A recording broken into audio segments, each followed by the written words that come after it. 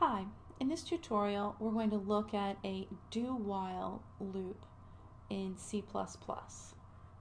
So here I have a simple program that has a variable for a string called my input and our program is going to ask the player for a cookie and then we get that using getline and cin so what the user types in gets assigned to my input.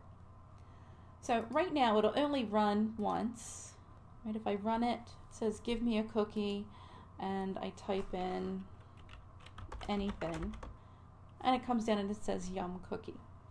But we want it to keep looping over and over again until the user types in the text string cookie. Now we've done other examples with other while loops, but this one's going to demonstrate a do while loop. So a do while loop is going to do something first, then do the condition check before it runs the loop again. So in this example, we wanted to do something first, so I'm going to say do, and then I'm going to have a set of opening and closing curly braces. So in this do while loop, the first part is done first. After it does that, then we put in while and our condition check. So we'll say while my input is not equal to the text string cookie. And I can get rid of those curly braces that my program automatically put in. So this is the reverse of a regular while loop that we looked at in other examples. So this is going to occur first before any condition is evaluated. Once it does this one time, then it's going to do this condition check and determine whether it needs to come back up and run this do part again. So now if I clear my code down here and I run it,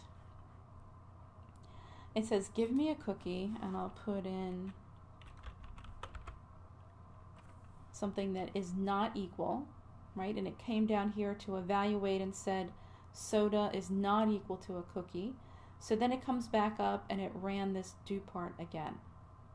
So now if I run it again with gum, it is true. Gum is not equal to cookie. So then it comes back up and it says give me a cookie again. And it'll keep going until eventually you type in the string that it's looking for, which is cookie and then it exits out of the while loop. So when my input is not equal to cookie, it will keep doing this, but when it does, it makes this false, then it doesn't run this again, and then it exits out of this looping structure and continues down with the cout statement. So with do while loop, sometimes it's easier when you're setting things up to have a this is a post-test loop in where the condition is evaluated after the instructions for the loop are processed. So this is a post-test loop. This will run at least one time before being checked. And then if this evaluates to true, it will keep running this over and over again. When it becomes false, it will end the loop.